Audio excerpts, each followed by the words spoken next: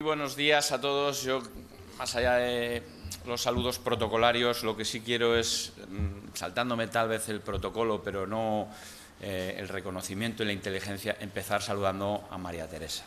Muchísimas gracias a la presidenta de honor, por supuesto, a Lourdes, a Juan Miguel, a la alcaldesa, a los consejeros que aquí están, de Economía y Hacienda, de Agricultura eh, y Ganadería y, por supuesto, a la presidenta de la Diputación y al resto de representantes de las distintas instituciones que aquí estáis presentes.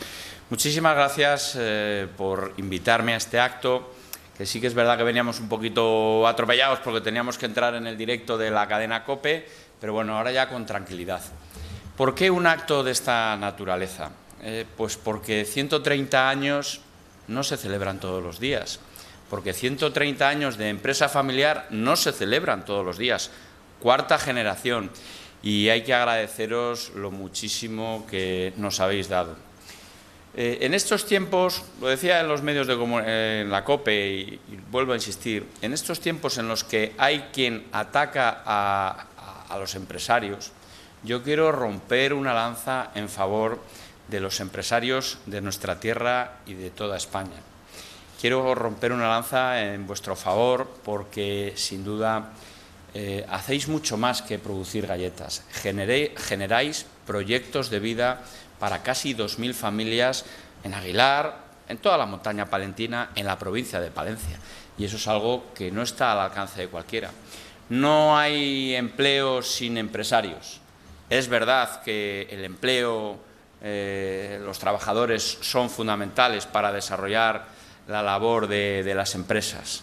Y, por tanto, muchísimas gracias. Todas las administraciones estamos acompañando en el desarrollo de, de Gullón, desde la alcaldesa y el ayuntamiento de Aguilar, que saben lo mucho que significa esta empresa en este municipio, en toda la provincia, la Diputación Provincial, que decir, y por supuesto desde la Junta de Castilla y León.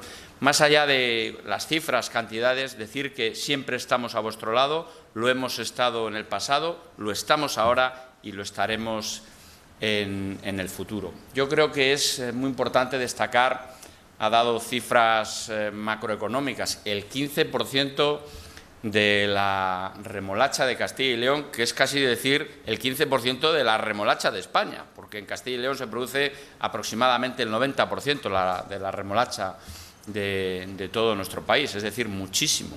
También el 6% del trigo, son cifras eh, importantes. Lo que quiero decir es que la industria agroalimentaria es un elemento crucial de lo que nos tenemos que sentir todos orgullosos. Es algo, en estos momentos en los que es más fácil hablar mal de uno mismo, pues yo vengo a hablar bien de Gullón, de Aguilar, de Palencia, de nuestra tierra, de Castilla y León. La industria agroalimentaria es una, vanguardia eh, de todas las cosas buenas que se hacen en Castilla y León y desde luego Gullón es una de las puntas de lanza, especialmente en el sector galletero. Juan Miguel lo ha explicado muy bien.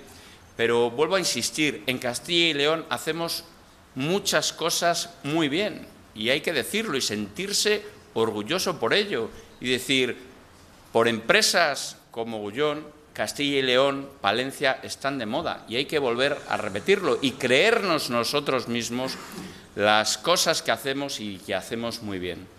Yo no quiero extenderme más, quiero agradecer la labor de Gullón, quiero decir que desde las administraciones, pues no sé, recordábamos ahora cómo se han adaptado las líneas de, transporte para que desde Velilla, Guardo, en fin, en fin, Barruelo, Cervera, puedan venir aquí a trabajar muchas, eh, muchas familias.